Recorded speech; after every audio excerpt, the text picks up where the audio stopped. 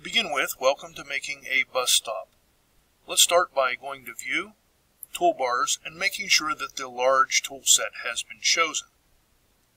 Once you have that, close it. Your tools will now be on the side like mine are. To start with, we're going to use a rectangle tool. We'll make a small rectangle.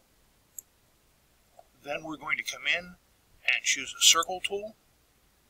And we're going to place the circle not too far away from the person. Make it about this large. Go to the push-pull tool. And we're going to pull this up. Now we're going to orbit it down just a little bit. You can use O in order to make the, it go to the orbit tool. And then we're going to use a tool which is called the offset tool. From there we'll go to the top. See how the top has been highlighted? And then we're going to pull it out quite a ways. This is going to be the roof. From there we'll, we'll use our push-pull tool and we're going to come up a little bit. I'll orbit down and I'll bring this up.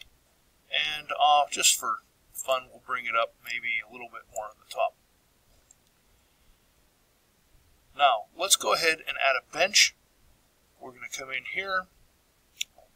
We'll use the rectangle tool.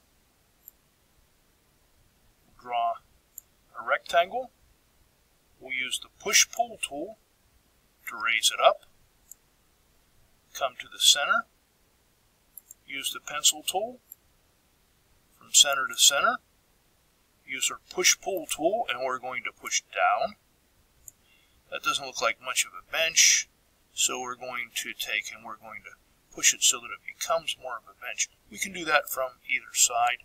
I guess I'll do this and that, and then we'll take and we'll take out the bottom part. To do that, we'll use the rectangle tool. We'll come over about like that. The push-pull tool, and we'll push it all the way through. And now we have our bench and our person. Let's go ahead and color it up and finish it up. Going with the uh, paint bucket tool, we'll come over and we will add some fun stuff to it. Let's go to tile and we'll choose tile. Uh, this one looks pretty good. We'll come over and add tile to it tiled around the outside edge. That looks really nice. Now we'll come in and change our bench so it's a different uh, material. Let's go to wood. And this wood flooring looks pretty good. We'll use it. We'll color it all up. We have to zoom in a little bit to get that spot. And one more side. And now Let's finish it off with a word. Let's come in and using this, we will type into here bus stop.